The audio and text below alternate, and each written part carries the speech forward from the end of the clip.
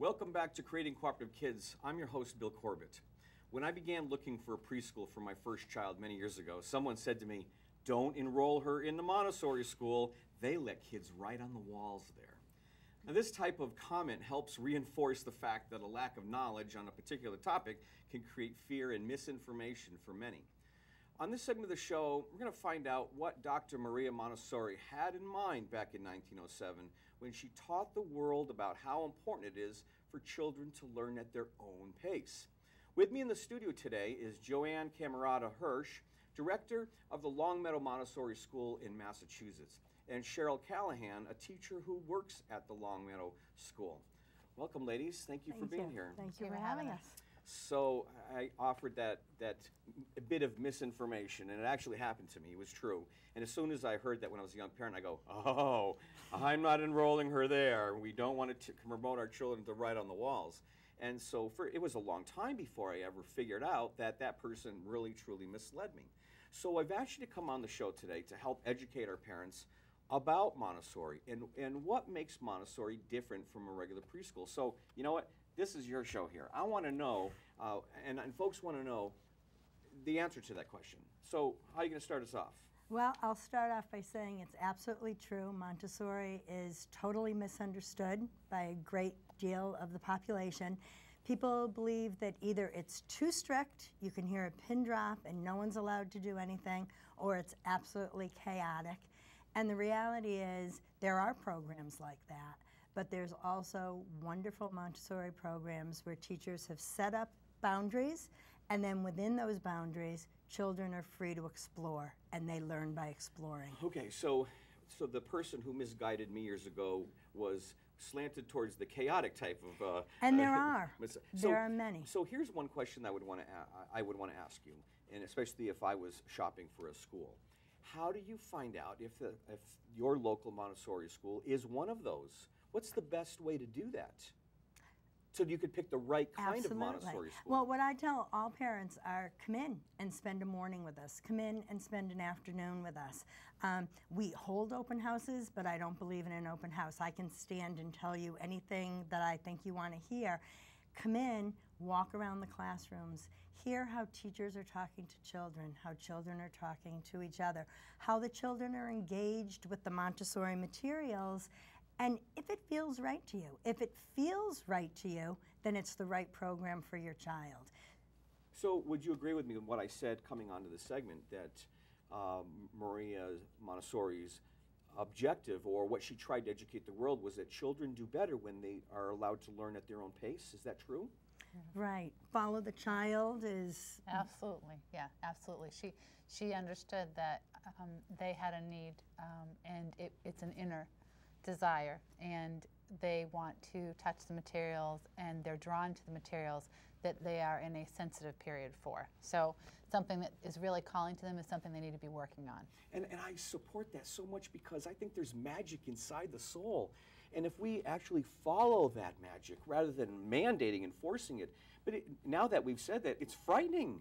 Think of all the children who go through at the pace they're told to go through and, and where they may be losing out on opportunity to grow internally and, and for the brain to, to uh, connect the right neurons at the right time. I- Is that true? Absolutely, and all of the materials lead to the other materials. So they are naturally allowed to discover and um, experiment and learn and grow at their own pace, and it follows through at their pace through the curriculum. Okay, so I want to, you, you've brought some, some items here, some props or some toys or some things that you use in the education. Before we go to that, though, I want to ask you, uh, I understand that it's now, this is the year, the 25th anniversary of your Montessori school, and you and I were talking uh, earlier, and, and from what you're telling me, uh, the parents of a group of children wanted you to create this special kind of school. Is that true? It is true. I um, was hired to take over for another woman who was running a school and actually died.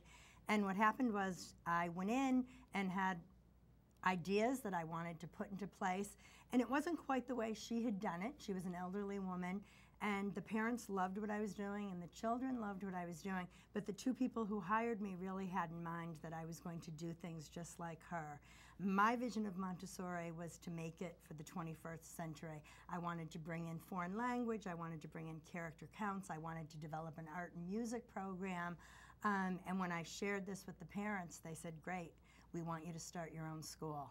And I actually said, Well, that's great, but I am paying off college loans. And they said, We'll put up the money, we'll find you a building. And thus Lon- Meadow Montessori was started. That's awesome. So 25 years, celebrating a long time. It is. And of course, I have to share with the audience, uh, you and I work together quite a bit because uh, uh, Joanne refers uh, parents to me who need extra help. And I'm always ready and willing to help at, as I can at And Joanne's school to help for the whole aspect of educating parents. Okay, we've only got a couple minutes left, but uh, you want to tell us a little about what you brought here? Well, yes, but first I want to say what makes a Montessori program very different is that you could walk in and see different children working with different materials. It's very different from a, a private or a public preschool program where the teacher is in front of the group and everyone in the group has to be doing the exact same thing.